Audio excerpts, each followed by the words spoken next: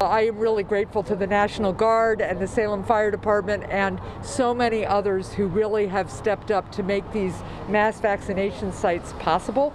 The energy at the mall in Salem, upbeat, almost electric on Tuesday, bright sunshine, and lots of thumbs up from people leaving. But people are happy to be getting their vaccinations, and we know how important it is to ramp up the numbers of shots in arms. New Hampshire Senate delegation upbeat as well. Senator Shaheen, one of the architects of the supplemental funding, after she cried foul on how the CDC calculated CARES Act allocations last December using city population size.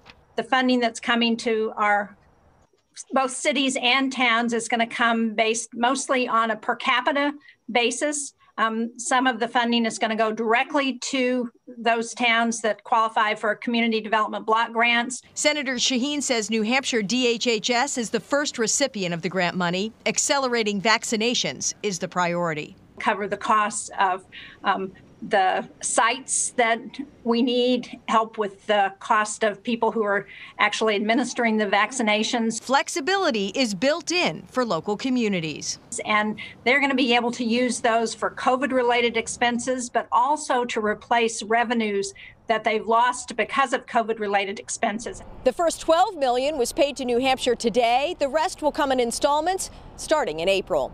In Salem, Amy Coveno, WMUR News 9.